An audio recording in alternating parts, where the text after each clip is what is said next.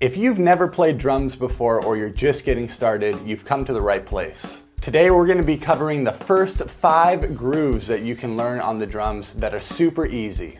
These work well in just about any rock or pop song. And as we go through this, the grooves will be posted on the screen as well as a PDF that you can download in the description below. One of the reasons drummers typically start off by learning rock grooves is because the coordination of these grooves is pretty easy to grasp in the beginning.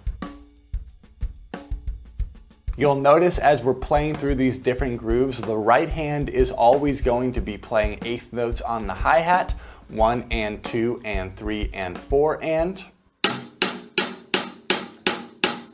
If you're a left-handed drummer, that'll be your left hand on the hi-hat. Most drummers, even if they're left-handed, tend to play right-hand lead because this allows the right side of your body to stay synced up while we're playing these grooves, and you might find it to be a little bit easier to play that way. But if it's comfortable for you to use your left hand on the hi-hat, go for it. And our left hand playing the snare drum is going to be playing on beats two and four the entire time.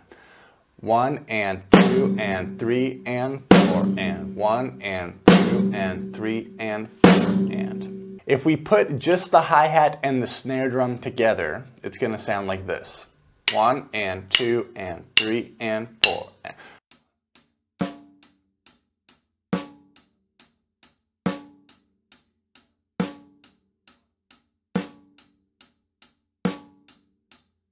Now you'll notice while I'm doing this, I'm trying to have my hi-hat and my snare drum be the same volume. Typically what tends to happen is the left hand, because it's underneath, plays a lot quieter and is not able to get as big of a stroke. Make sure we're still getting a nice solid backbeat with that left hand. So groove number one, our bass drum is just gonna be playing on beats one and three. Our hands are gonna be doing the pattern that we just learned there. Now, as you're learning any new drum groove, in the beginning, it's totally okay to take just two limbs at a time and really work on lining those up. So as we're going through these grooves, if you're finding it difficult, especially to add your bass drum in with any of these grooves, take just two limbs at a time. For example, if I take just the hi-hat and the bass drum for groove number one, it's gonna sound like this.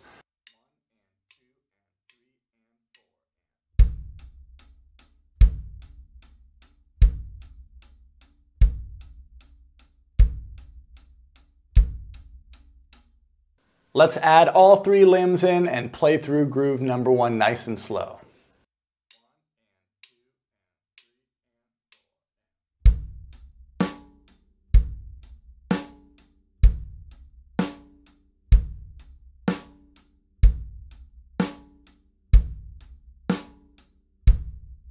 In drumming, we have grooves and we also have fills, which are little transitional things that we can play to help progress to the next section of a song. The fill that we're gonna play today, if you're playing on a four piece kit like me, um, we're gonna go 16th notes the entire time, one E and a, two E and a, three E and a, four E and a, and just alternate our hands, right, left, right, left, right, left, right, left. One full beat on the snare, followed by one full beat on the first tom here, back to one full beat on the snare, ending with one full beat on the floor tom there.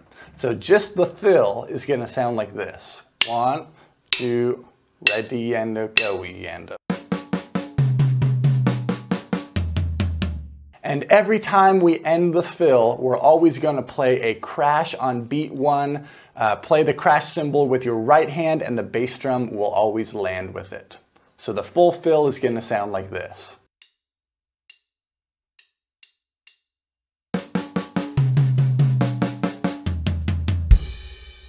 The format we're going to use for all of these grooves is three measures of the groove followed by one measure of the fill. That will give us a complete cycle of four measures and we will continue to loop this. So here's groove number one with the fill.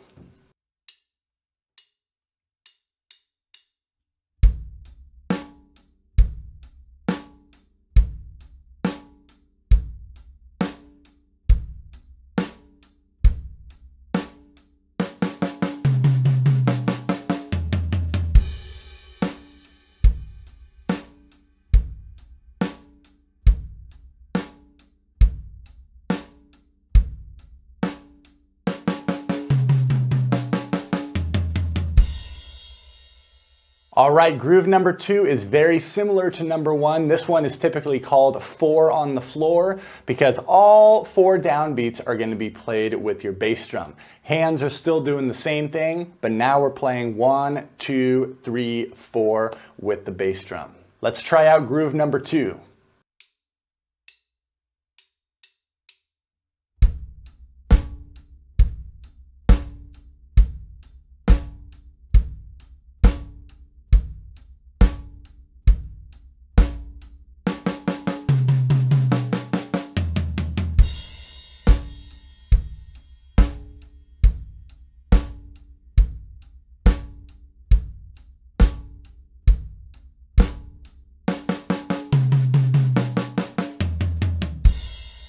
Again, since we're playing these as rock or pop grooves, we want to think about all three of our limbs kind of being equal in volume. So our bass drum, snare drum, and hi-hat all equal in volume, getting a good sound. Groove number three, we're getting a little funky now. Bass drum's gonna play on beat one and the and of three. So again, if we're just taking the hi-hat and the bass drum together, that would sound like this.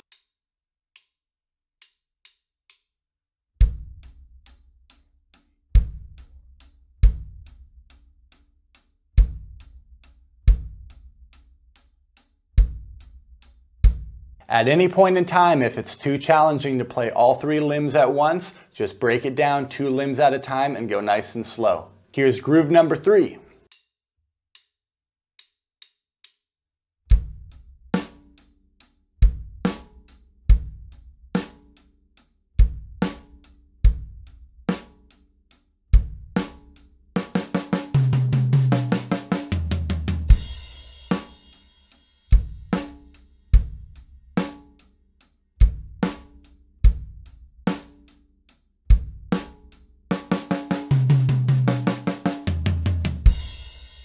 All of these grooves can be played on the ride cymbal instead of the hi-hat as well. So for groove number four, we're gonna move our right hand over to the ride cymbal. The coordination is still gonna feel the same, we just happen to be hitting a different surface with our right hand. Our bass drum is now gonna be playing on beat one, the and of two, and beat three. Here's groove number four.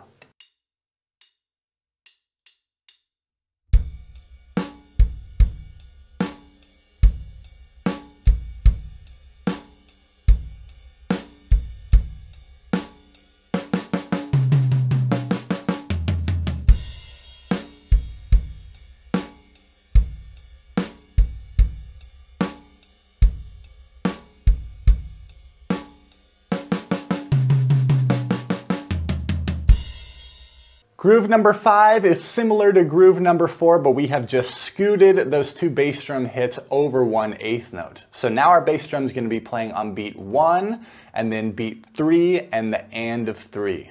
Here's groove number five, again on the ride cymbal.